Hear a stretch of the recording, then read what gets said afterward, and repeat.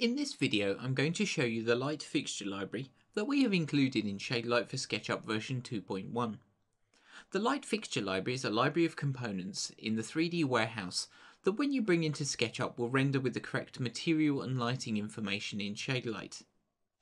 We can see my rendered scene that I have currently here and we just have a closed room and if I look in my render settings I've set this up to render with global illumination so in my interior scene option here and also with artificial lights only. The light that I have in the scene currently is one of our um, light fixture components that I've brought in from the warehouse.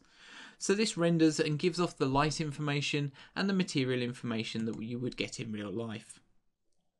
So if I wanted to bring in some further components into our scene here, we can do this in a couple of ways.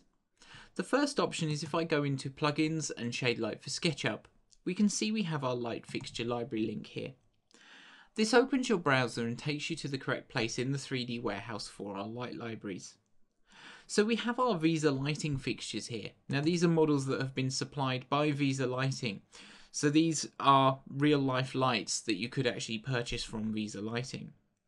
So these models, if you wanted to bring them into Shaderlight and SketchUp, when if I open one of these, we can look at it and it actually brings in all of the lighting and material information to render correctly. So we can save this model here and we can then import it. The other option is if I go to my components browser here and I search for Shaderlight Library. The Shaderlight Library in the components are models that you can use to render in Shade Shaderlight. So we can see we have our Replace Me components and also our Shaderlight light fixtures. So if I go into our Visa lighting fixtures here, we can see we have a number of lights including desk lamps, wall lamps and also ceiling lights as well that we can bring into our scene. So if I just select this wall light here that we looked at earlier, and this will snap to the correct face, so you haven't got to worry about that orientation.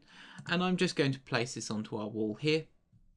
And I can quickly create another copy if we wanted those two lights there we can see when Shaderlight updates here that we actually have the correct lighting profile.